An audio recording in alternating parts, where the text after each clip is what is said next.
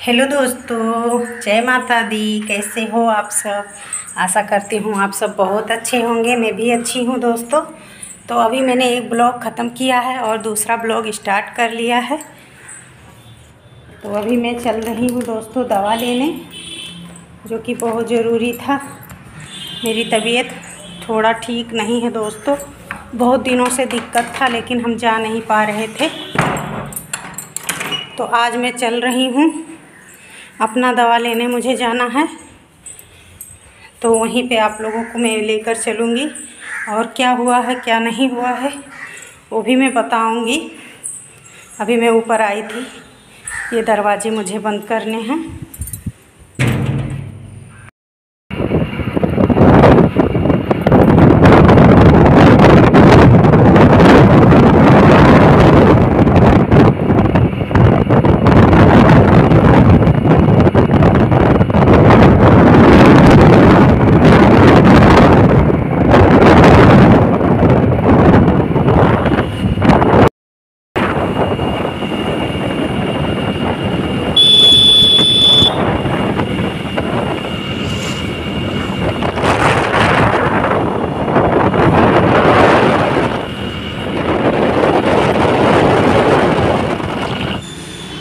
अभी हम लोग हॉस्पिटल पहुँच चुके हैं और नंबर भी लग चुका है और आधे घंटे बाद या पौने घंटे बाद नंबर आएगा हमारा।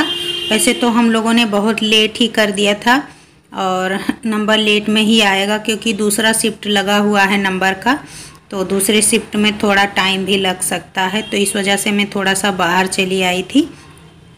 और यहाँ पे देखिए हमारा नंबर आ चुका है और अभी मैं अंदर आ चुकी हूँ हॉस्पिटल के अंदर, जहाँ पर वेटिंग रूम होता है ना कि तो दोस्तों, अभी हम लोग दवाई ले चुके हैं और अब निकलते हैं घर के लिए। हस्बैंड जी गाड़ी लेने गए हैं, अभी आ रहे हैं। हाँ और सामने हमारा, देखिए, इसी हॉस्पिटल में हमने दवा ले लिया है। चलिए, अब चलते हैं घर पे। तो अभी हम रास्ते से देखिए, जिस रास्ते से जा रहे हैं, वहाँ पे बहुत ही बड़ा जंगल पड़ता है। और देखिए, मौसम एकदम से ख़राब हो चुका है, बारिश हो रही है और हम लोग भीग भी चुके हैं, बहुत ज़्यादा भीग चुके हैं, लेकिन रुक नहीं रहे हैं इसलिए क्योंकि यहाँ पे जो इस रास्ते से हम लोग जाते हैं, ये देखिए जंगल पड़ता है। और बहुत ही बड़ा ये जंगल है हमारे यहाँ का तो डर भी लग रहा था। तो दोस्तों, यहाँ पे हम लोग रुक गए हैं क्योंकि बारिश बहुत तेज़ होने लगी है और यहाँ पेड़ की वजह से थोड़ा सा पानी कम गिर रहा है। तो भीग भी गई हूँ मैं, बहुत ज़्यादा भीग गई हूँ। ठंड भी लग रही है और अभी घर पे नहीं नहीं पहुँच पाए हैं। अभी अभी कितना दूर है? हैं? अभी बारह किलोमीटर है यहाँ से और ये हमारे यहाँ का जंगल है दोस्तों, ये देखिए। कौन सा जंगल भी है? मनकापुरा जंगल. टिकरी जंगल. टिकरी जंगल है दोस्तों ये देखिए. ये टिकरी जंगल. और वहाँ देखिए सामने ट्रेन की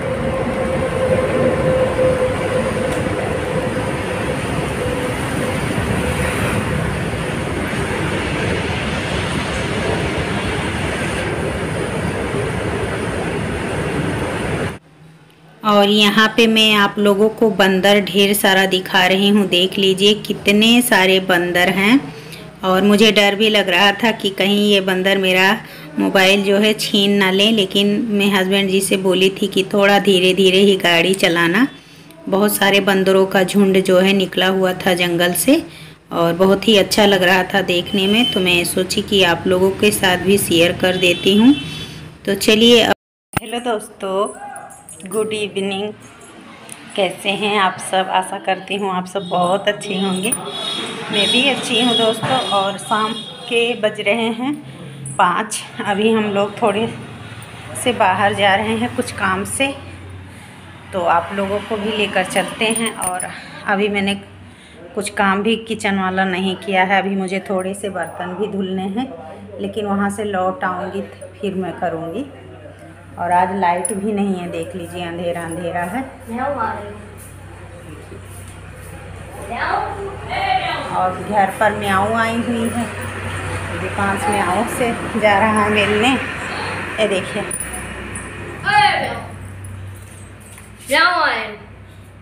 हाय कर दो हाय करा दो